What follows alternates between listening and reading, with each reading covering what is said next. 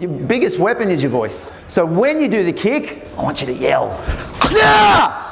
High performing teams and individuals have formulas, they have recipes, they have a process behind what they do. It is much easier to achieve a goal if you've got a reason for doing it. So, what everyone tends to think of in business and sport is I'm looking for that golden ticket or that golden solution. That one big deal that's going to save us, or the, the one lucky moment, or the one lucky meeting. Doesn't often work that way. So the aggregation of marginal gains says that if I do lots of things right for a long period of time, I will see dramatic improvements. Louder. If Chris comes and taps me on the toes, I'm not going to let him. And vice versa, he's not going to let me.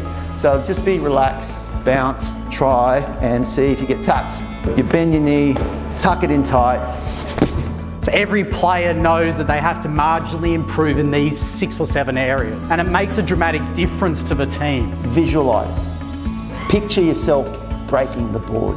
Visualize how you would do it and what would it feel like if you could do it. Breathe and breathe out when you throw your kick. And what are we going to do when we throw that kick? Yeah, we call that a kiai.